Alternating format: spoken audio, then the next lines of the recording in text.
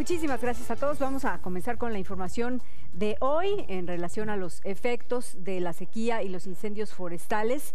Se empiezan ya a hacer evidentes los daños en varias localidades del país. Es el caso de Valle de Bravo, en el municipio del Estado de México, que vive en gran medida del turismo y que hoy sufre una terrible ausencia de visitantes por la pérdida de parajes verdes y por el bajo nivel de la presa Miguel Alemán. La afluencia turística en Valle de Bravo ha disminuido notablemente debido a la desaparición de los paisajes verdes causada por los incendios forestales, así como el bajo nivel de la presa Miguel Alemán. Pero sí, sí ha afectado un poco porque pues, la gente no, no viene a lo mismo. Viene y ve el agua más, más bajo y pues no les gusta, dicen que está más feo, ¿para qué vienen ya?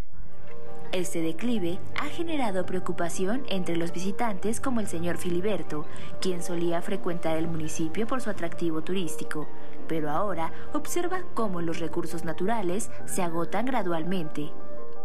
Pues hemos visto el nivel, de hecho yo recuerdo que estaba hasta acá, llegaba el agua y ahorita este, ya, ya ha afectado tanto el, el, el, este, espiaje, ¿no?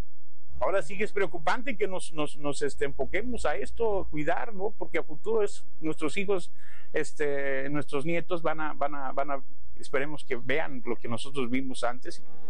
Para Francisco, quien depende del turismo, estos desastres naturales están afectando a su economía debido a la ausencia de turistas.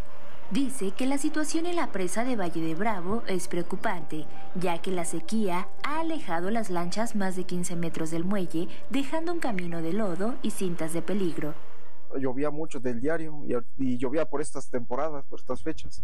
Y ahorita pues, hasta junio, julio, ojalá si llueva, no como el año pasado, que sí, casi no llovió.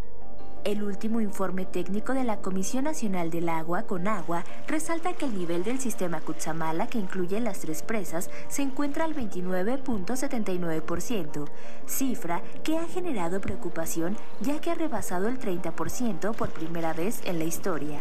Con uno, Diana Solórzano.